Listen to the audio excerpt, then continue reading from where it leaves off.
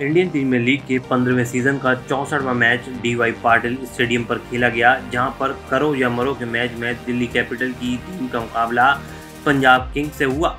IPL 2022 के playoff में पहुँचने की उम्मीद को ज़िंदा रखने के लिए दोनों ही टीमों को इस मैच में दो अंक की दरकार थी, लेकिन दिल्ली कैपिटल ने पंजाब किंग्स के खिलाफ इस मैच में 17 रनों से जीत हासिल कर इस सीज़न पहली बार लगातार दो मैच में जीत हासिल करने का कारनामा किया। दिल्ली कैपिटल्स ने पंजाब किंग्स को मैच में हराकर इंडियन प्रीमियर लीग प्लेऑफ में पहुँचने की उम्मीद को बरकरार रखा है। दिल्ली कैपिटल्स ने इस मैच में 17 रनों से जीत दर्ज की और पॉइंट्स टेबल में टॉप फोर में जगह बना ली है। दरअसल दिल्ली कैपिटल्स ने पहले बैटिंग करते हुए एक का स्कोर बनाया था। लो स्कोर को बचाना मुश्किल था, लेकिन दिल्ली के बॉलर्स ने धमाल मचा दिया। पंजाब किंग्स 20 ओवर में सिर्फ़ 142 रन ही बना पाई। 17 रनों की इस जीत के साथ दिल्ली कैपिटल्स के 14 पॉइंट हो गए हैं।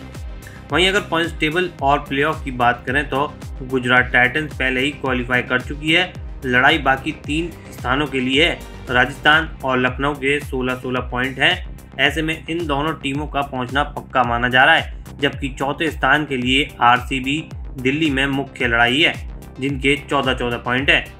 पंजाब किंग्स को इस मैच में तेज शुरुआत मिली थी, लेकिन टीम उसका फ़ायदा नहीं उठा पाई।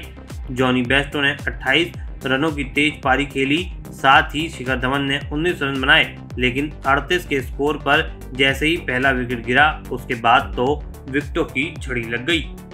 दिल्ली कैपिटल्स की इस मैच में काफ़ी बुरी शुरुआत हुई, क्योंकि इस मैच की पहली ही बॉल पर डेविड वार्नर आउट हो गए। वार्नर के जाने के बाद सरफराज खान और मिचेल मार्शल ने पारी को संभाला और धुआंधार पारी खेली।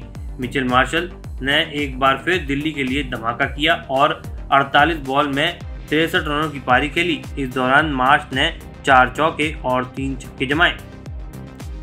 इस खबर में फ़िलहाल इतना ही। बनरिया वन इंडिया हिंदी के साथ।